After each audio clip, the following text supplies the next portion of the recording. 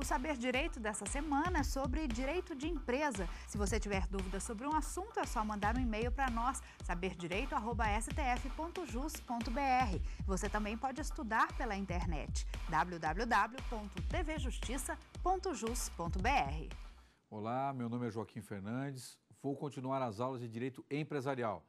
Estamos hoje, a nossa aula será sobre a administração da sociedade empresarial. É, nós já falamos sobre o empresário, os sócios, formação da sociedade, e agora chegamos ao momento da administração da sociedade. Então, observe uma coisa. Uh, quando eu falo de administração da sociedade, uh, eu tenho que imaginar que dentro daquela minha estrutura, vejam que às vezes eu sou até, ah, eu sou até repetitivo eh, em alguns momentos, porque eh, você que está ouvindo e vendo a gente aí, tem que saber o seguinte: para direito empresarial eu preciso encaixar as coisas para eu poder desenvolver um raciocínio. Então, se eu comecei sabendo quem é empresário, se eu já imaginei que na estrutura da minha sociedade eu tenho a formação de atos constitutivos e na formação dos meus atos constitutivos eu vou estabelecer sócio, vou definir as responsabilidades, vou estabelecer a cota de integralização de capital de cada um deles eu, neste momento, também na formação da sociedade ou durante a sua, a sua, a, a sua existência, eu posso estabelecer a administração. Vejam, quem administra a sociedade? São perguntas que vão surgir naturalmente quando o tema é lançado. Se o tema é, é, é para ser discorrido hoje é sobre a administração, a administração da sociedade, obviamente, eu tenho que pensar o seguinte: bom, primeiro raciocínio, quem integra a sociedade? Ué, nós já vimos é, na aula anterior que a, a, quem integra a sociedade são sócios. Ora, muito bem, óbvio. Mas, fora isso, professor, mas eh, não sei, o senhor na aula anterior, inclusive, falou que eu posso ter sócio administrador, diretor não empregado, mas como é que eu vou encaixar todos esses princípios dentro da administração da sociedade? Olha, não percam de vista que na aula anterior, que nós tratamos de obrigações é, e direitos, isto, é, perdão, esta matéria, direitos e obrigações de sócio na sociedade, deve ser os dois devem ser os dois grandes pilares no raciocínio que nós vamos desenvolver sobre administração. Porque a administração da sociedade, já disse a vocês, é de uma clareza absoluta. Quem administra? Ué, quem está lá no contrato social. Mas só. Mas quais são os seus efeitos? Como é que é possível? Como vai se desenvolver? Eu posso estabelecer alguma regra diferenciada? Uh, eu posso colocar um terceiro estranho à sociedade para administrar? Como fica? E principalmente, que é o que preocupa o direito, é o que motiva a redação dos artigos que nós vamos discutir no dia de hoje. Mas os terceiros, as pessoas com as quais a sociedade ela mantém relacionamento. Por quê? Porque, obviamente, o direito é, aqui empresarial, ele tem dois grandes é, dois grandes círculos para nós, para nós analisarmos. O primeiro, a disciplinar entre os sócios suas responsabilidades, obrigações, direitos, para que nenhum deles seja prejudicado por uma interpretação equivocada na redação dos seus atos constitutivos. Mas também o direito empresarial, ele quer preservar, como disse agora, a relação entre os sócios, mas também ele quer preservar a, responsabilidade da sociedade defini-la em relação a terceiros. Por isso que eu falo, é, e o título da aula de hoje, o tema da aula de hoje, é a responsabilidade da administração da sociedade. Tão importante, mas tão importante, que motiva uma. São sete, oito artigos neste capítulo que nós precisamos enxugar para vocês poderem entender. E olha, como as aulas elas vão se encadeando. lembrem-se que quando eu falei da quem pode ser, houve até uma pergunta aqui, quem pode ser empresário? Né? E eu disse, olha, em regra, o que está escrito no código, qualquer um pode ser empresário, desde que ele tenha capacidade civil, não esteja no rol dos impedidos. Então vejam só, por que isso? Agora os senhores vão perceber a importância, nós já discutimos isso naquele momento, mas agora vai ficar mais evidente. Ora, quando eu disse lá, olha, quem pode ser empresário? O capaz civilmente, o que não é impedido de comerciar. É porque eu tenho que pensar nas responsabilidades assumidas pelo sócio no exercício da atividade empresarial. Ora, eu não posso permitir e o, a lei não permitiu assim, também assim o entendeu, de ter uma pessoa incapaz na sociedade, ela era capaz quando participou da sua Constituição, tornou-se incapaz no curso da, do exercício da atividade empresarial. Eu não posso permitir que ela permaneça incapaz sem que haja a sua interdição sem que haja a necessidade de um representante integrar a sociedade em nome daquele que já não mais possui capacidade plena para o exercício da atividade empresarial. Então, observem que para eu entender, vejam só, hein, para que eu entenda responsabilidade na administração da sociedade, eu preciso voltar os meus olhos para artigos antecedentes que cuidam da capacidade. Sim. Porque, a rigor, vejam só, uh, o sócio, se eu não definir na sociedade quem vai gerir a sociedade, nominando-o de sócio gerente, em regra, todos podem praticar este ato de gerência. Atenção. Gerência, quando se fala em atos de gerência. Eu já disse isso e repito para não que você não se confunda. Por favor, não confunda gerente com sócio gerente. Gerente é aquele que é empregado, exerce atividades com vínculo de emprego, ok? Tanto que no artigo 843 da CLT está lá escrito, né? Quem pode representar a empresa? O sócio, gerente ou o seu preposto. Sócio, vírgula, gerente ou preposto. Então é gerente empregado, ok? Não é o sócio gerente. Quando eu falo de gerência da sociedade, eu falo até usando o senso comum. O que é ser gerente? Quando você vai a uma loja, e alguém lhe apresenta o gerente, você está imaginando que está diante do sujeito que personifica o empregador. Não é? Você olha para uma plaquinha escrito gerente. Então, ele é a autoridade máxima para resolver o problema que você levou para ele. Muito bem. Pegue este exemplo absolutamente singelo e coloque-o no âmbito da sociedade. Quem é o sócio gerente? É aquele que você olha e fala: esse na sociedade é o que gerencia. Não é o que pensa que gerencia. É aquele que efetivamente no contrato social está definido como o sócio gerente. O sócio que toca a empresa. É aquele sócio que efetivamente conduz a empresa no exercício de suas atividades empresariais originárias. Ok?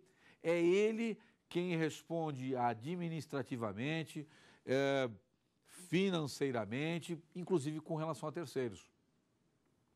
Mas, professor, então o sócio-gerente é mais do que os outros? Na verdade, ele tem obrigações diferenciadas na sociedade. Na verdade, para você que está vendo e nos ouvindo aí. É, ele, na verdade, ele tem obrigações um tanto quanto diferentes. É, ele é o sujeito que talvez, entre a definição dos sócios, na, naquele ajuste entre os sócios é aquele que tem maior afinidade com a condução dos negócios empresariais. Por isso que ele se afigura como sócio gerente. Às vezes, é o sócio que tem a maior participação societária também. Então, quando eu olho nas cotas, é uma cota de 100%, 80%, ele é, é, ele é o sócio cotista em 80%, então, naturalmente, será ajustado, será definido que ele será o sócio gerente. Perfeito? Vamos à leitura do nosso primeiro artigo de hoje, nesta aula de responsabilidade na, na administração da sociedade. Olha só, 1010 do Código Civil.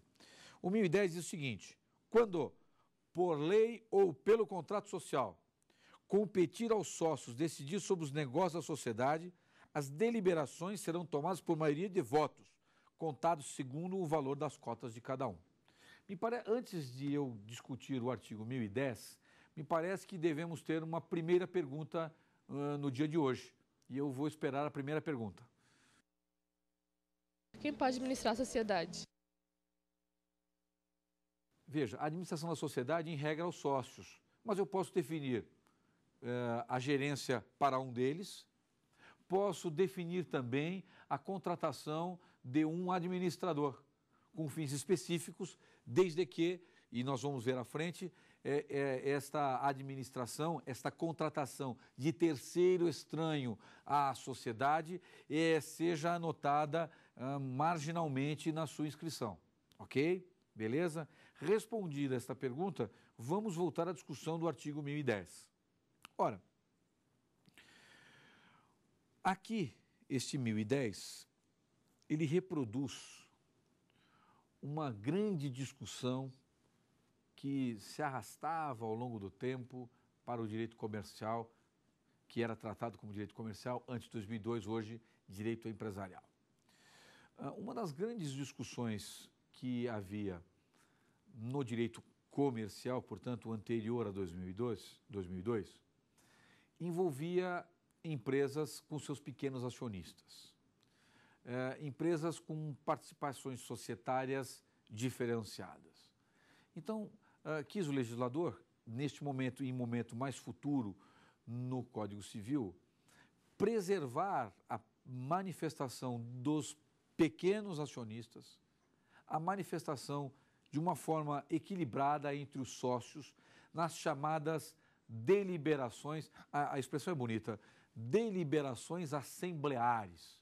Meu Deus do céu, o que significa é, deliberações assembleares? Nada mais do que as decisões tomadas em assembleia, não é? Assembleares, não é? Eu substituo a expressão de assembleia por assembleares. Muito bem. Vejam, muitos contratos, e isto não é regra, isto não é imposição, hoje muitos contratos eh, estabelecem eh, de que forma, já que muitas vezes eu não tenho um número, eh, um número ímpar de sócios, como é que eu vou definir decisões da sociedade importantes na administração e na responsabilização? Como é que eu vou definir decisões, perdão, como é que eu vou determinar decisões definindo a participação de cada um dos sócios nessas decisões? Vamos imaginar que uma empresa vá discutir um determinado, um determinado negócio e que a discussão entre os sócios em número de três se configure numa divergência intransponível. Nós temos três sócios, dois querem a realização do negócio e um não quer. Muitos contratos, até de pequenas empresas, de empresas padarias, armazéns, é, estão colocando é, no seu, no seu, nos seus atos constitutivos as decisões de assembleia. Os sócios realizarão assembleia. Na verdade, não é uma obrigação eu ter a necessidade da imposição de assembleia. Por quê? Porque, é, em verdade, se você tiver um sócio majoritário, não é, ou preponderante, com numa cota de 100% ele ter 60%, 20 e 20, uh, sempre ele vai prevalecer sobre os demais. Porque quando você uh, estuda o artigo 1010, ele vem lá, quando por lei ou pelo contrato, competir aos sócios, decidir sobre os negócios as deliberações serão tomadas por maioria de votos, segundo o valor das cotas de cada um. Ou seja, se eu estabelecer que decisões serão tomadas é, por assembleia, eu sempre vou me subjugar à decisão por maioria. Observem, se eu estabelecer no meu estatuto, no meu instrumento de constituição, que eu terei deliberações negociais por assembleia, eu vou me submeter ao resultado desta. Ok? Porque eu posso definir também que a minha administração será feita mediante um sócio gerente. Ah, posso também inserir a cláusula de desculpe, de assembleia? Posso, mas na verdade eu preciso entender o seguinte: sempre que eu tiver no meu, no meu instrumento societário que eu terei decisões é, por assembleia, eu estou definindo que sempre que houver uma decisão importante, será feita por maioria. Maioria não é unanimidade. Então vejam, se tenho três, obviamente, uma votação de 2 a 1 um vai gerar que aquele um isolado é, fique absolutamente vencido de maneira intransponível na decisão que se pretende tomar para a sociedade, ok? Mas vamos lá. O artigo 1001 não para aí. Ele diz: para a formação da maioria absoluta, são necessários votos correspondentes a mais de metade do capital. Ou seja, aquela redação original que nós estamos falando, veja, se eu tenho um percentual de cotas elevado para um dos sócios, eu tenho é, que fazer uma análise entre o caput do 1010 com o parágrafo 1 deste mesmo artigo. Olha, se para a formação da maioria absoluta são necessários votos correspondentes a mais da metade do capital, ou seja, se eu tenho um sujeito com 60%, os dois votos jamais vão, se, vão suplantar a, a quantidade de cotas daquele majoritário. Por isso que muitos contratos das empresas simples, não é? dos empresários, das empresas, das sociedades empresariais simples, não prevêem esse tipo de assembleia. Normalmente, numa padaria, por exemplo, numa padaria, eu tenho dois sócios, Manuel e um xará meu, né? Joaquim. Manuel e Joaquim. Vocês vão observar que nesses contratos está lá, ambos os sócios poderão utilizar por quê? Ah, mas se eu tiver três, claro, se eu tiver três, e normalmente essas sociedades mais simplificadas, elas não vão estabelecer assembleias, embora muitos é, contadores, é, quando preparam os seus contratos, eles coloquem a figura da assembleia, que me parece, para casos de pequenas empresas, de médias empresas, um obstáculo intransponível e apenas uma chance daquele que tem o maior número de cotas de capital, no capital, é, aplicar os seus desejos de maneira indiscriminada, desprezando a vontade dos demais. Por isso que muitas vezes é mais razoável se nominar entre eles a gerência. O sócio-gerente, por exemplo, exercendo a gerência de maneira alternada. Eu posso ter sócios gerentes numa sociedade com mandato específico. Olha, o sócio-gerente será sócio-gerente é, de 1 de janeiro de ano tal a 31 de dezembro de, do ano tal, que é para coincidir com a apuração de ano fiscal. Perfeito? É possível. É possível que eu faça isso. Por quê? Para evitar esta colocação de assembleia é, que serve para algumas sociedades, mas não serve para outras sociedades, especialmente as mais simples, ok? Uh, parágrafo 2 Prevalece a decisão sufragada por maior número de sócios no caso de empate, se esse persistir, decidirá o juiz. Ora, é, tudo que se quer evitar, muitas vezes no direito societário, é a interveniência judicial. Há uma porque, repito, a afeição entre os sócios deve ser a regra. Quando a afeição entre os sócios ela vai se esvaindo, com toda certeza se reflete no funcionamento da empresa e a empresa também vai se vai se deteriorando à medida que o relacionamento pessoal entre os sócios também piora. Para alguns tipos de atividade eh, empresarial, você estabelecer arbitragem, perfeito? Ou seja, eu vou eh, nomear alguém que conheça do assunto para dirimir a controvérsia entre sócios. Para quê? Para evitar que eu vá ao judiciário, para que eu exponha a sociedade, para que eu divirja, para que eu torne a discussão arrastada em prejuízo da sociedade. Então, quando eu analiso a questão envolvendo a, a, a, a, criação de assembleias em sociedades empresariais, eu tenho que ter muito cuidado exatamente para que eu não crie um obstáculo muito grande, não é? é e que torne o exercício da atividade empresarial absolutamente complicado e difícil. Perfeito? Então, gente, é, continuando na questão de representação na sociedade e administração, vejam o 1011. O 1011 está assim redigido. O administrador da sociedade deverá ter, no exercício de suas funções, olha, olha como é importante e às vezes é, chama atenção para a aula anterior de obrigações e deveres dos sócios. O cuidado, olha que expressão bonita que o código lançou. O cuidado e a diligência que todo homem ativo e probo costuma empregar na administração de seus próprios negócios. Vejam só, uh, aqui nós estamos discutindo a figura do administrador, não é?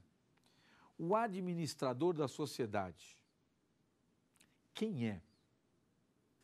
Vejam, esta figura aqui do administrador, uh, nós temos que dizer e inserir a figura do administrador de uma forma ampla.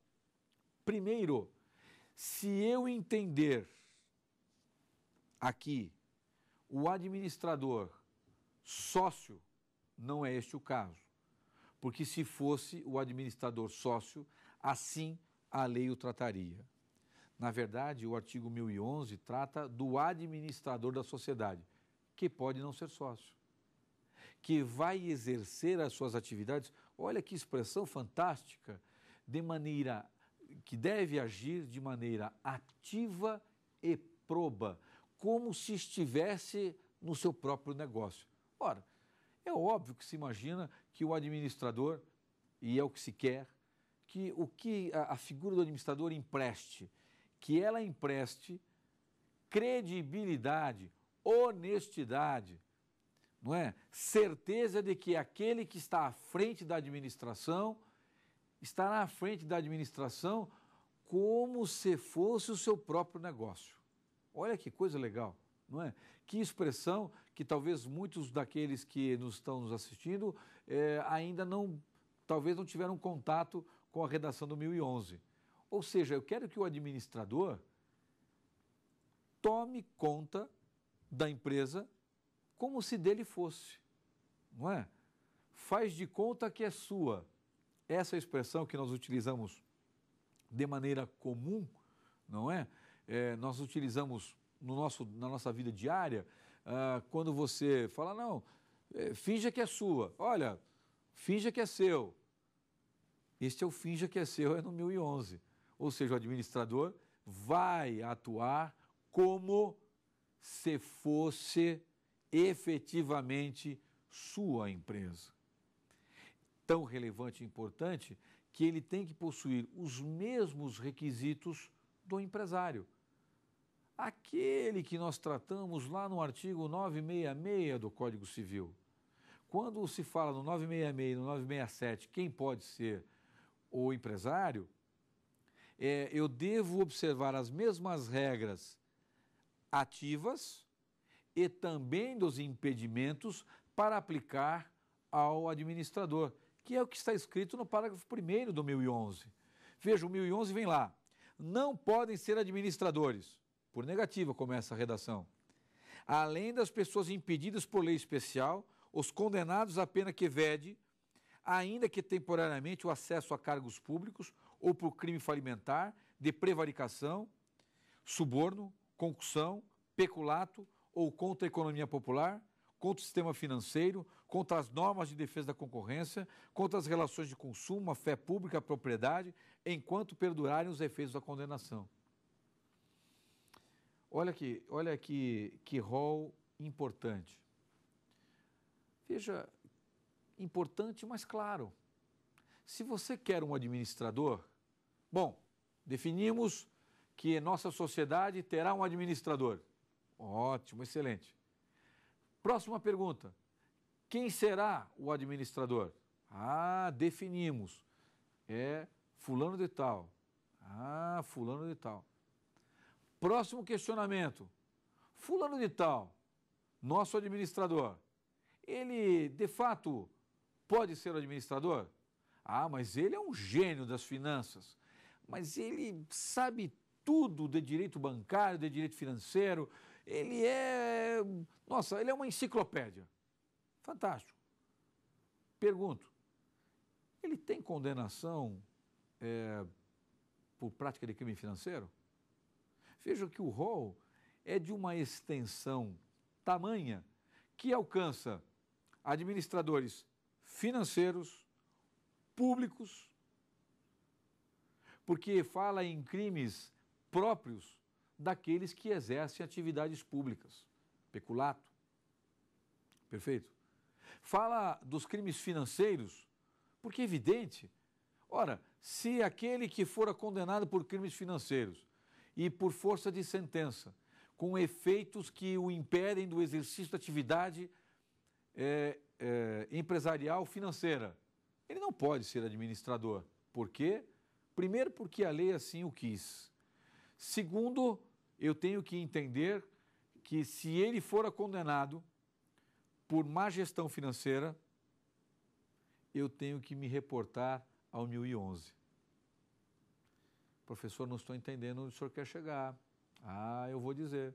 Veja, se ele é condenado por crime financeiro, como é que eu posso aplicar a regra do artigo 1011?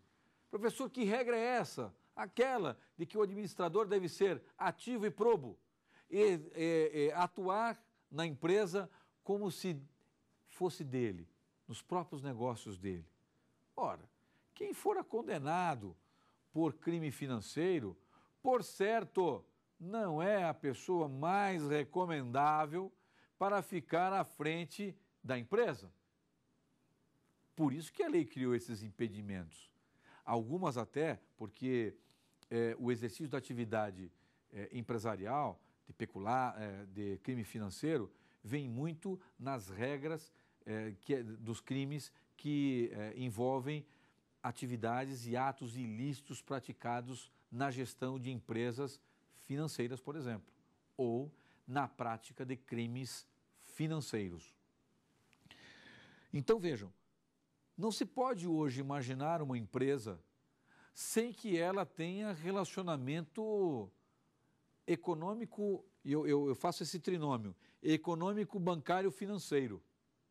Portanto, não é, plenamente justificável que o parágrafo 1 do artigo 1011 ele exclua, impeça que neste rol os condenados em crimes financeiros sejam excluídos.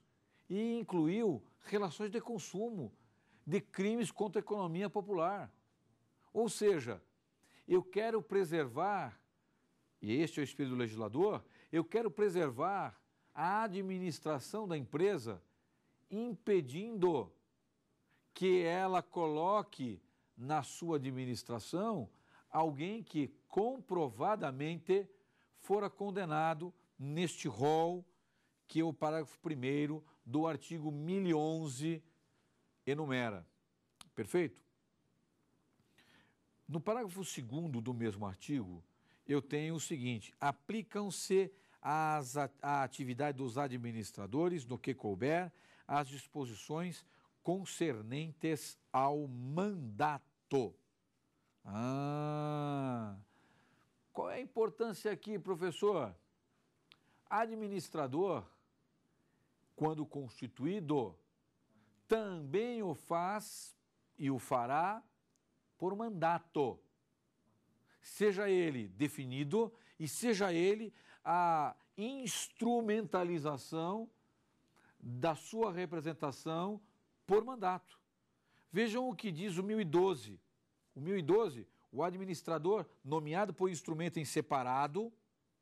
Então vejam,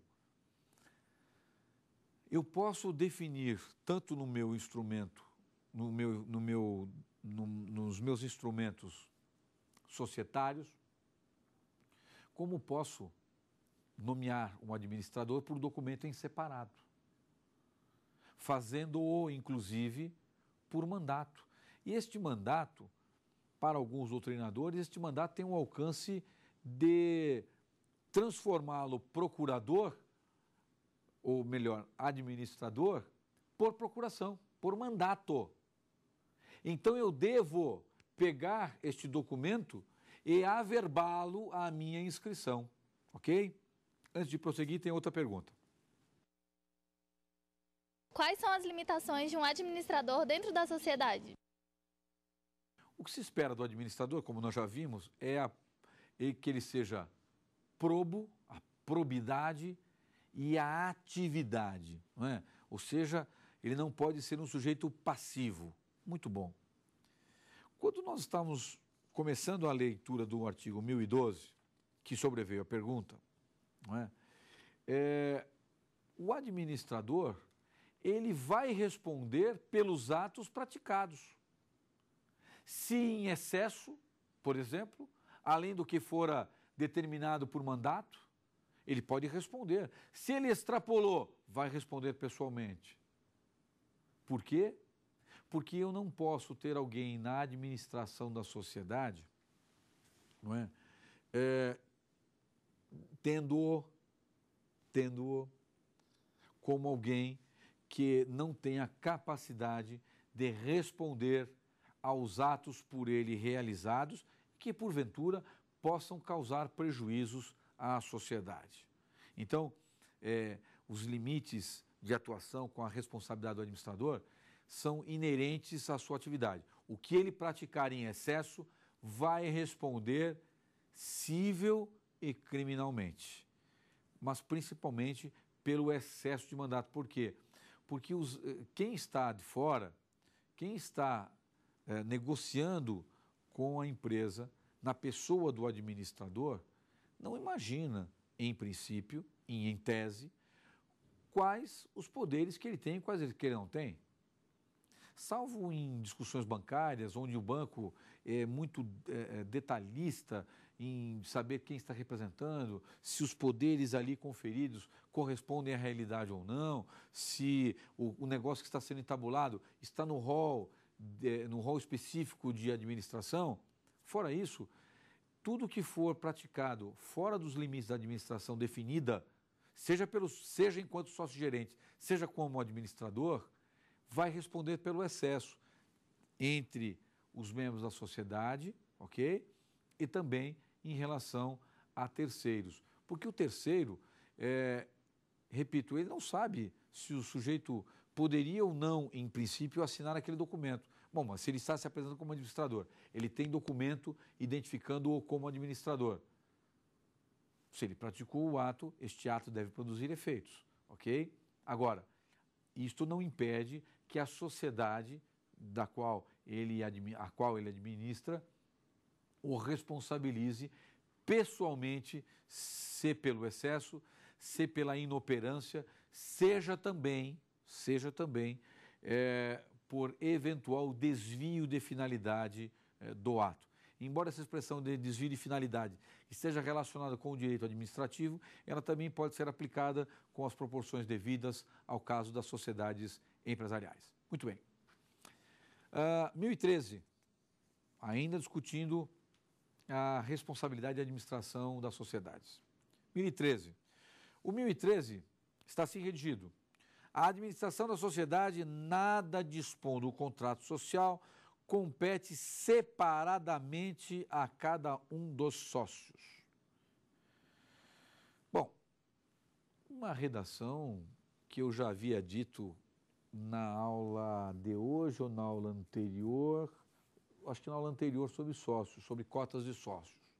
Vejam, se eu não definir responsabilidades na administração, todo mundo responde, ok? Todo mundo responde.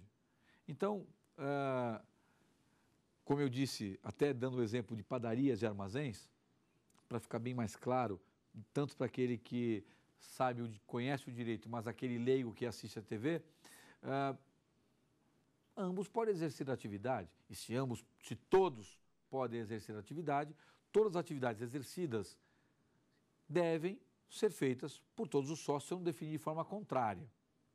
Só que assim, ó, o parágrafo primeiro, ele diz, se a administração competir separadamente a vários administradores, cada um pode impugnar a operação pertinente por outro, cabendo a decisão aos sócios por maioria de votos.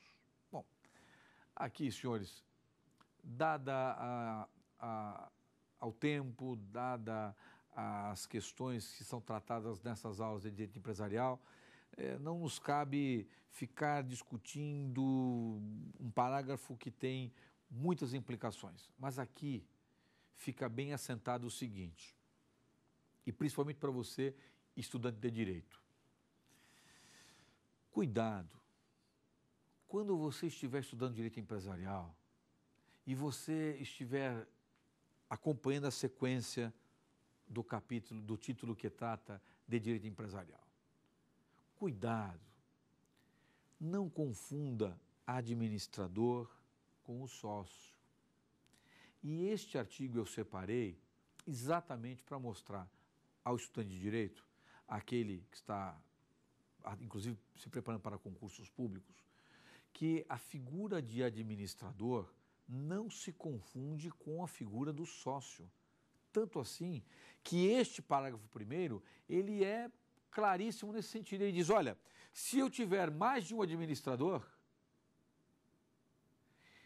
as decisões deverão ser depois decididas, se conflitantes, pelos sócios. Então aqui, esse parágrafo primeiro deixou bem claro para aquele que está nos assistindo. Não confunda a figura do administrador que é constituído pela sociedade para agir em nome dela, ter o seu instrumento de constituição, administrador, devidamente anotado no livro, nos atos constitutivos da empresa, eu não posso olvidar de separar administrador de sócio. São coisas distintas e não podem ser confundidas como a leitura do parágrafo primeiro mostra para mim. Ok? Muito bem.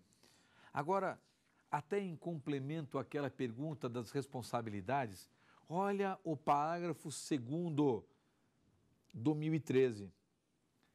Responde por perdas e danos perante a sociedade o administrador que realizar operações sabendo ou devendo saber que estava agindo em desacordo com a maioria.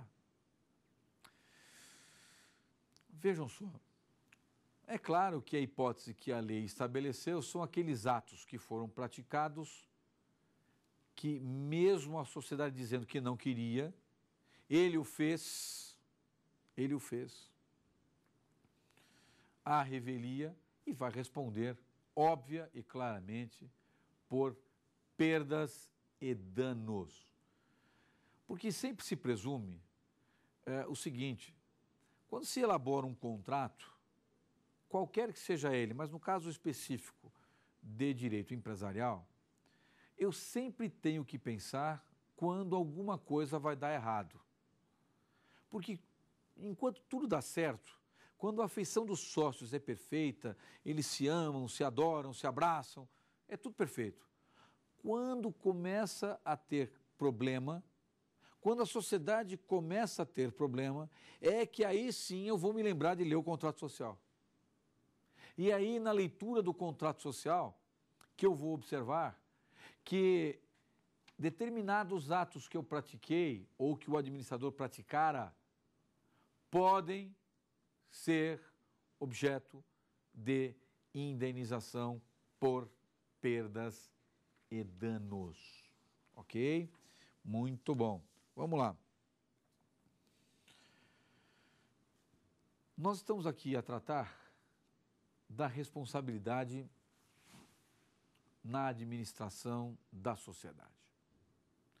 Então, eu já assentei a vocês da responsabilização por perdas e danos, que foi a última coisa que eu tratei agora, que é o parágrafo 2 do artigo 1013. Muito bem.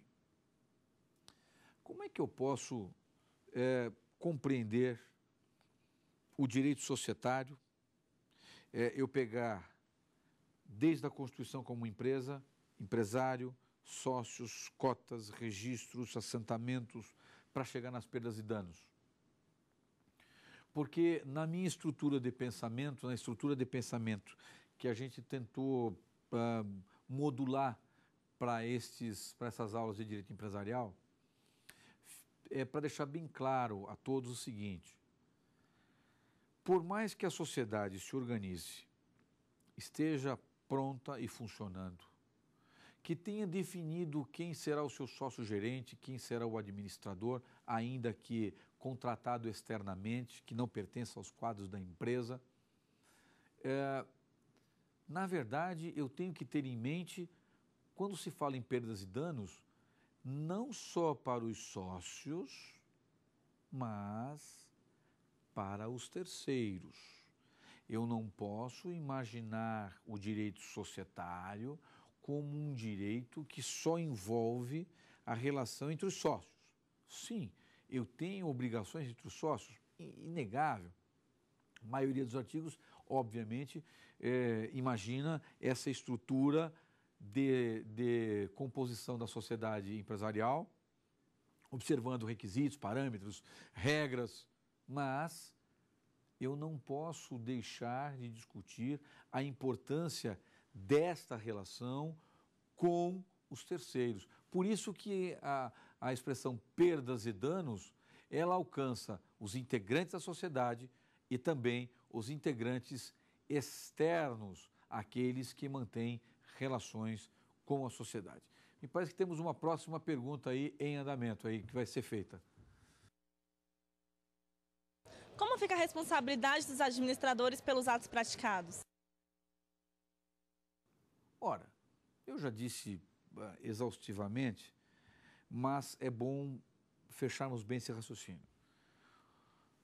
Os atos de excesso à minha administração, eu respondo por perdas e danos os atos que contrariarem decisão de maioria, respondo por perdas e danos. Ou seja, o administrador, conforme mesmo diz o código, né, é, que tem que agir ativa e probamente no exercício de sua atividade, é, tem que ter em regra, tem que ter em mente, perdão, de que qualquer falha por ele praticada, veja, não é a falha na condução do negócio. A falha na condução do negócio é uma coisa erro na condução do negócio ou é, é, é, equívoco de interpretação do mercado é uma coisa. Outra é eu extrapolar os meus limites de administrador à revelia da minha contratação, à revelia de decisão de sócios, em claro prejuízo presente ou futuro à sociedade. Porque eu não posso só imaginar os meus atos pelo presente. Às vezes, atos que eu pratiquei hoje numa sociedade empresarial vão se refletir no futuro.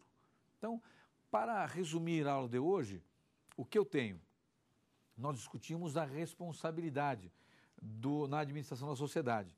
E nós tratamos hoje eh, do artigo 1010 até o artigo 1015. artigo 1010 até o 1015. Uh, então, nesses artigos ficou definido responsabilidade do sócio, ficou definida a participação de administradores e ficou também definida uh, o alcance dos atos praticados por administradores e também por sócios gerentes e os atos praticados com as suas respectivas responsabilidades por excesso, por é, absoluta é, é, letra morta que se faz a decisão de maioria entre os sócios, de maneira a prejudicar os destinos da sociedade. Então, senhores, na aula de responsabilidade da administração da sociedade, não podem esquecer das figuras de sócio-gerente, das figuras de administradores e das responsabilidades por atos praticados fora do que determina o contrato, além do mandato e fora do objeto social da sociedade. E mais, quando se fala de responsabilidade, olha, é importante o que vem no 1016 os administradores respondem solidariamente perante a sociedade e os terceiros prejudicados, que é o que eu falava anteriormente quando discutimos a figura de sócios administradores. Perfeito? E olha, quando você começa a ler o artigo, do artigo 1016 até o artigo 1021, você vai observar o seguinte: que é necessário que o administrador observe, observe alguns pontos importantes na administração da sociedade. Veja o 1017. Olha, o 1017, o administrador que sem consentimento escrito dos sócios aplicar créditos ou bens sociais em proveito próprio de terceiros, terá de restituí-los à sociedade. Senhores, nós já vimos que se ele deve administrar como se fosse dele, ele não pode imaginar que seja dele o dinheiro, que os bens e capitais sejam dele. Por isso que na maioria dos contratos societários, você observa que está lá escrito: os sócios não poderão oferecer em garantia bens da sociedade, contrair empréstimos em nome da sociedade, salvo se estiver em concordância com o outro sócio com muito menos razão aos administradores. E repito, a figura de administrador aqui entendendo-se administradores e sócios gerentes da sociedade. Por quê? Porque pode o sócio gerente ou administrador contratado praticar atos de administração lesivos à sociedade. E vejam que coisa, na, se ele tiver uma procuração ilimitada, com poderes assim muito grandes e o terceiro com quem ele negocia não tenha assistência adequada, ele pode sim fazer negócio sem que o terceiro conheça e em claro prejuízo à sociedade. Então, senhores, para resumir, responsabilidade do sócio, responsabilidade de administrador, deve ter como parâmetro o contrato social e a forma de contratação de administrador quando esse não for sócio. Obrigado. Se você tiver dúvidas sobre um assunto, é só mandar um e-mail para nós, saberdireito.stf.jus.br. Você também pode estudar pela internet, www.tvjustiça.jus.br.